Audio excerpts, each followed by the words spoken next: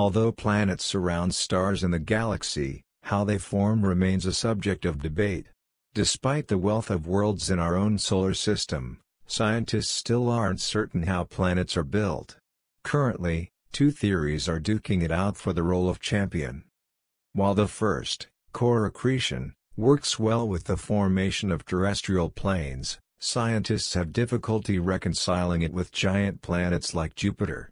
A more recent model known as disk instability may help solve some of the problems that core accretion fails to address in scientists' views of how the solar system formed.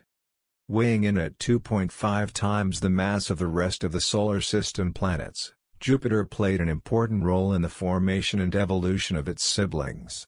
New theories about the early solar system suggest that Jupiter may have moved around, stirring up material. The complex dance of the king of planets may have directly influenced the formation of Mars and played a role in the bombardment of the rocky planets. Approximately 4.6 billion years ago, the Solar System was a cloud of dust and gas known as a solar nebula. Gravity collapsed the material in on itself as it began to spin, forming the Sun in the center of the nebula. With the rise of the Sun, the remaining material began to clump up. Small particles drew together, bound by the force of gravity, into larger particles.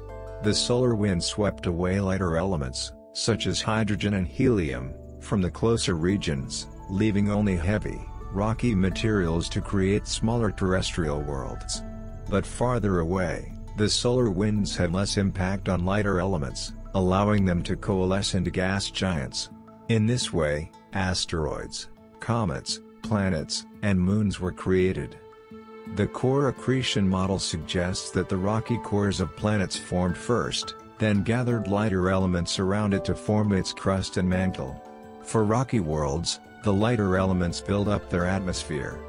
Exoplanet observations seem to confirm core accretion as the dominant formation process. Stars with more metals, a term astronomers use for elements other than hydrogen and helium, in their cores have more giant planets than their metal-poor cousins.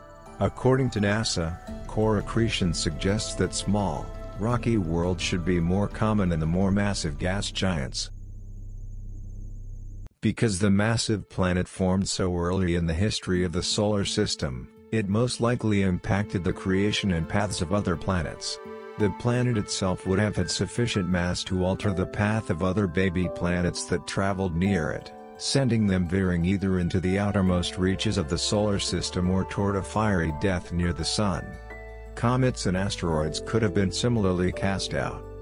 Jupiter is often lauded as a shield for Earth, but that may not have always been the case. Recent studies suggest that gas giants speed up the timescale of impacts. Early in the life of the Solar System, Jupiter tossed material helter-skelter, raining some of it on the terrestrial planets, while hurling some of it completely out of the Solar System. In systems without Jupiters, however, the impacts are weaker but continue through a planet's lifetime.